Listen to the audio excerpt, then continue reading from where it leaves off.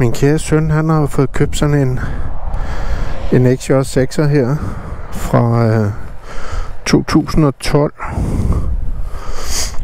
som har kørt omkring 20 20.884. Og sådan lige umiddelbart, så, øh, så lyder det jo ligesom en symaskine. Øh, den motor, der, der sidder på der, den er, det er en R6 motor, som selvfølgelig er, er droslet noget ned. Jeg tror faktisk, det er, det er 78 heste, den har. Men det her, det er som min første tur på sådan en en øh, XJ6'er der. Så det, det bliver jo spændende. Øhm, den er så købt som en skade, øh, fordi øh, vedkommende, der har haft den, eller anden, det ved vi ikke helt sikkert, men øh, de har i hvert fald lavet det, at øh, der har siddet sådan nogle øh, crash pads øh, på den, som er blevet øh, taget af. Øhm, problemet er bare, at øh, da de er taget med, så, øh, så er de jo monteret i motorboltene. Så motorboltene, de var selvfølgelig også taget af. Øh, så hele, øh, hvad skal man sige, den forreste del af motoren hang sådan set kun i bagstellet. Og det der så er sket, det er, at øh, man har kørt på den, og så er den så revnet her i, og som man kan se, så er der blevet lagt en, en, en ret stor svejsning i her, for at ligesom få det, få det lappet sammen. Og hvis man kigger herinde, så kan man se, at det er bagsiden af motoren, der sidder på her. Og herinde under det her, der sidder den forreste del.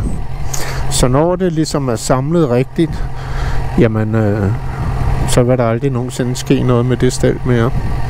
Og det er så blevet fuldsvejset i begge sider, så, øh, så det skal nok holde. Men øh, nu prøver vi lige at hoppe på banditten her. Kaste os ud på, på vejen og se, hvordan den her kører på. Det er som sagt første gang, jeg tager en tur på sådan en her. Så jeg må bære lidt over med mig, hvis det, hvis det sådan er helt, helt til heste helt. Så lige umiddelbart, så føles den sådan... Øh, en smule tung øh, uh, dejlig gearskift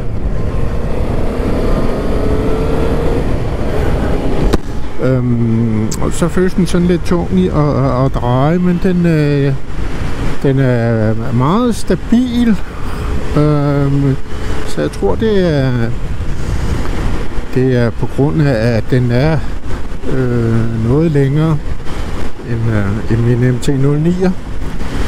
Ja, øh, det er ligesom den, jeg har lige at sammenligne med PT.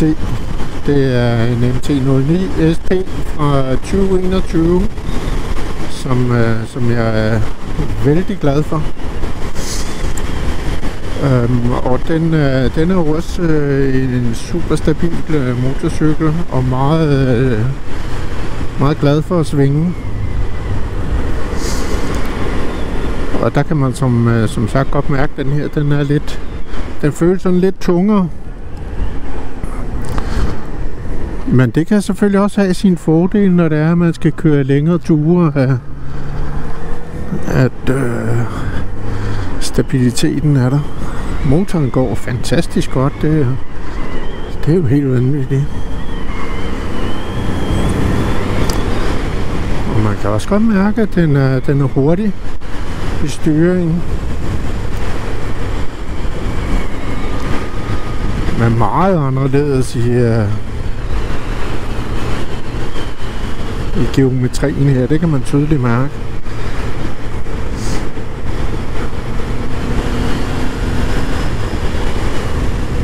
Men uh, ganske fin motorcykel, må jeg sige.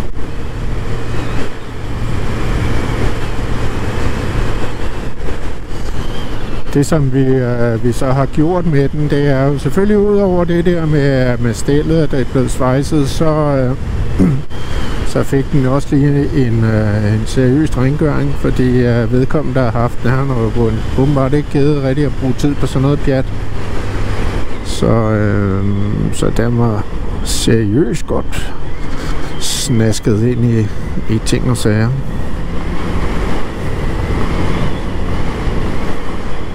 Og så, øh, så har den også fået, øh, fået skiftet olie og renset kæde og, og alle de her ting, som, som man nu skal gøre for at holde sådan en i, i god stand.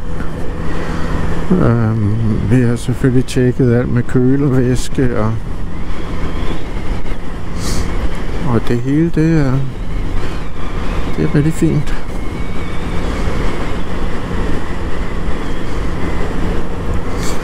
Og sædepositionen, øh, ja, den, den er faktisk god.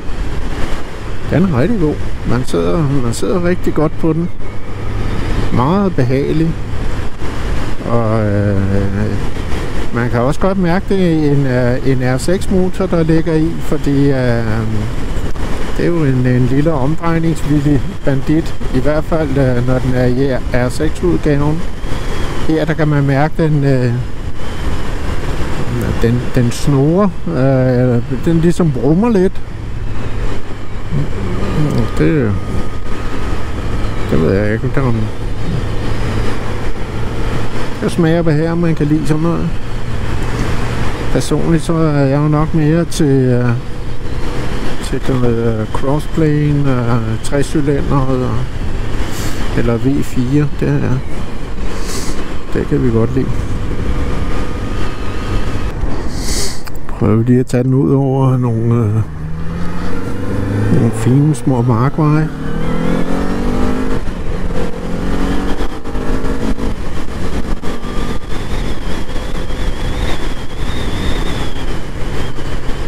Kan jo tydeligt mærke, at, at den er noget mere slatten end, uh, end MT-09'eren.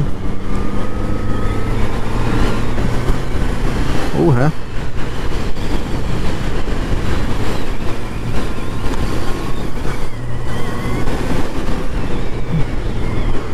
Den kuger også noget, når det er, man, uh, man lægger den ned der. Var det lige så fodhvileren lige gik i jorden der, kan du mærke.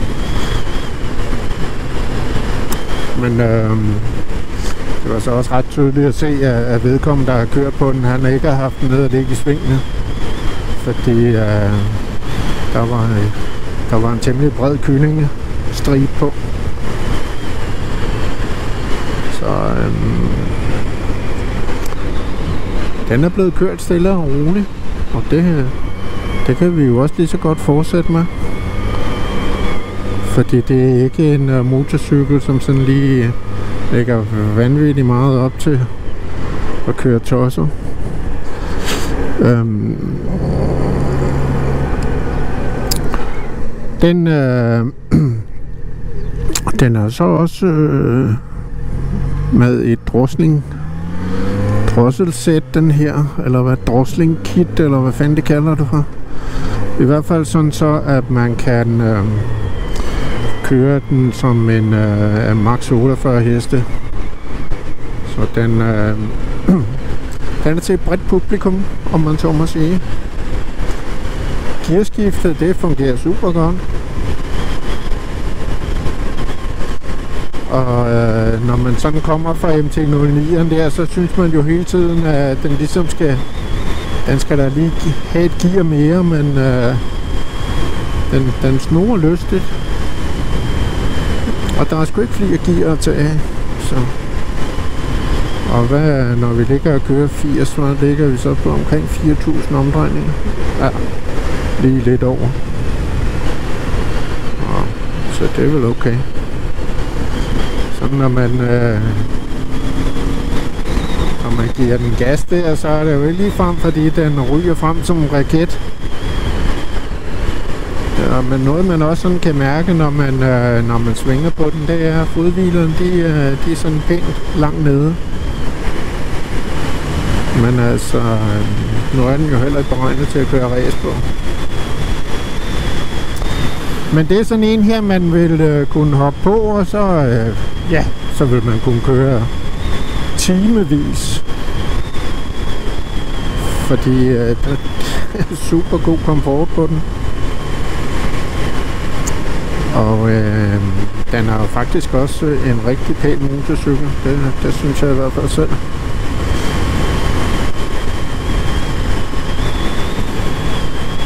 Så er vi lidt ude på Børlandet her. Kommer vi hen på et, øh, et, et pænt lige stykke vej, der kunne man jo lige prøve at give den et par klik ned og, og fyre den af her.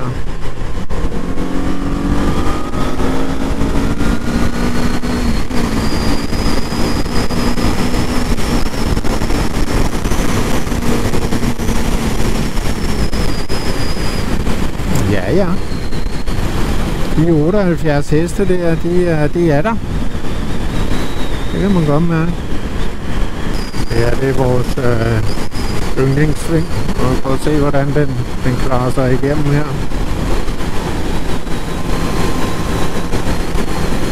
Det, uh, ja. Den ligger stabilt og godt. Så er man nu på udkig efter en øh, driftsikker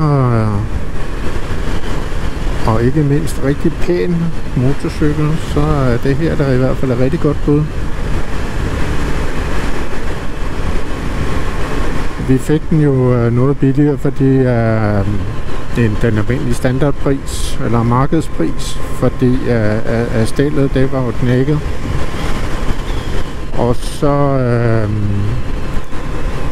forgaften den var så desværre også udtaget, så den skulle have pakninger. Og øh, så er der også en bule i tanken.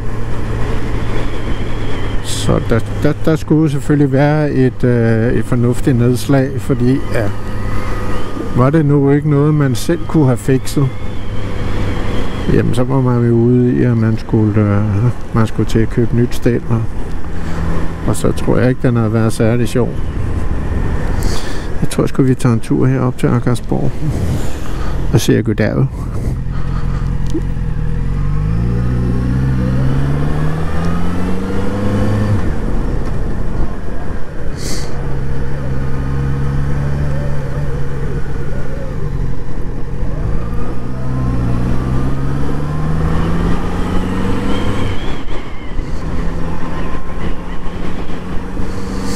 Det er så et meget pænt sted at køre rundt hernede. Hvis, det, hvis man kan lide uh, lidt vand, så har vi jo øh, uh, Lykstør lige over på den anden side derovre. Og nu er vi på vej over mod noget, der hedder Akersborg. Jeg skulle godt nok aldrig set det, men, men det er sikkert nok vældig, vældig spændende, hvis man interesserer sig for sådan noget. Vil du have en, som uh, øh, tusse nem at servicere, hvor det hele det er nemt at komme til, så er det øh, et rigtig godt bud. Og altså, kørt knap 21.000, ikke? Det, det er jo ingenting. Den er nærmest lige kørt til, som man siger. Så man sidder i hvert fald kanon godt på den. Det gør man. Og øh, det gør man faktisk også øh, om bagpå. Ikke, øh, jeg har ikke selv prøvet det, men øh, det, var, det var, hvad Daniel han sagde. Så, så det er jo ikke tosset, hvis det er, at man skal ud og køre med damen, eller damen skal ud og køre med manden, eller, eller hvem der nu skal køre med hvem. Der er i hvert fald øh, god komfort. Både for og bag, som man siger. Den første gang, at Daniel han var ude og køre på den, der blev han godt nok noget chokeret, fordi uh, dæktrykket, det var jo...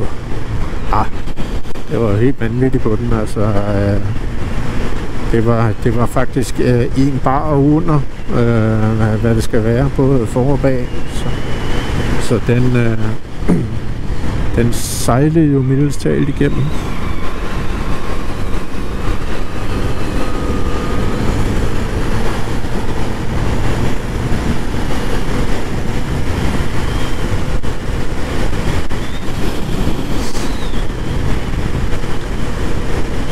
Øh, det er selvfølgelig, når man har lavt dæktryk, så, øh, så føles motorcyklen jo virkelig ubehagelig at køre på, fordi øh, trædefladen, den, øh, den bliver selvfølgelig noget større. Det, det kan så være meget.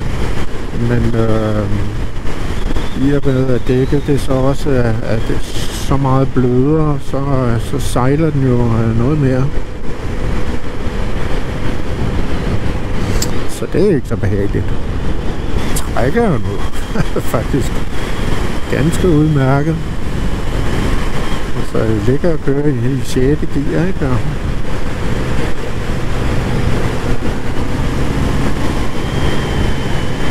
kommer rimelig hurtigt på gassen. Altså man kan jo godt mærke, at det ikke er en øh, decideret R6 motor, fordi den sker der skudt meget i, når man er hernede ved, ved 4.000 omdrejninger. Så der er jo ændret en, øh, en del på, på øh, ikke selve motorgangen, men øh, man har ligesom øh, ændret lidt på indsprøjtning og så videre for at få øh, momentet noget længere ned. Og det er klart, at så, øh, så ligger vi heller ikke at køre med det der 14.000 omdrejninger. Eller 15, eller hvor meget der er den.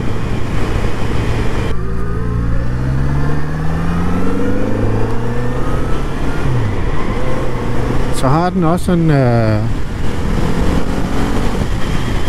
den øh, growler lidt. Og en lille missekat. når man, øh, man, kan, man kan tydeligt høre indsugningen der. Det, det lyder faktisk ret godt. Bare at øh, Yamahas øh, FZ6, som, øh, som godt nok har 20 heste mere, men øh, sådan øh, sidestilling og, og øh, og motormæssigt der, der, der synes jeg faktisk, de minder sådan en, en del om hinanden. Den, øh, den kører faktisk rigtig godt. Og som man kan se, så er der både øh, tankmål, og der er ur dernede, og, og motortemperatur eller kølevandstemperatur. Så den er så ikke, øh, den er ikke ABS,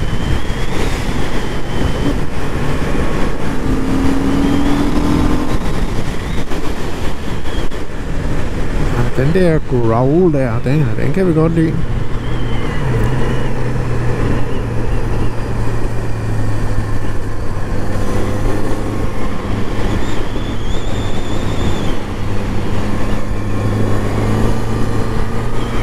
Men må ikke den kostede en 80-90.000 dengang. Og øh, må ikke den kom på markedet i... Øh, ja, må ikke det var i 10 eller sådan noget. Så, øh, så det er da 11 år. Der, øh, der er der sket en udvikling. Bremserne, de er, de, de er gode. Ikke sådan øh, vanvittig, men øh, til hvad sådan en her nu er sat i verden til at kunne præstere, så, øh, så passer de jo meget godt sammen. Åh, oh, det lyder godt, det der.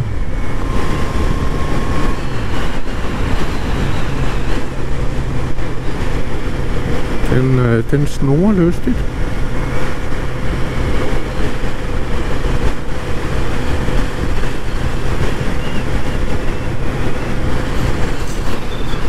Lige den her, der, da vi fik den, der sad der en, øh, en potte på, som jo larmede vanvittigt meget, altså som i øh, rigtig meget. Øh, den, er, den er jo så blevet taget af, og øh, gudskelov så var originaludstødningen med. Så det er den, der er kommet på igen. Og den passer jo langt bedre til motorcyklen her, end, øh, end den anden, der sad på. Det var så øh, fuld udstødning, men øh, hvor det var, at man havde lavet noget, øh, ophæng der på den bagerste fodhviler for at få det til at, at sidde. Så øh, det så ikke særlig godt ud, og, og der er øh, standardpotten, den, øh, den, øh, den ligger jo faktisk ligesom øh, MT-09'eren, øh, sådan midt inde under, eller nej, ikke midt inde under motoren, men sådan lidt bag, bag motoren. Så, øh, så den har den der brummen, når man kører. Den lyder, den lyder faktisk ganske godt. Den er i hvert fald blevet noget mere stille, siden uh, den, uh, man fik uh, originalpotten på igen. Nu er den jo rent faktisk blevet civiliseret at køre på.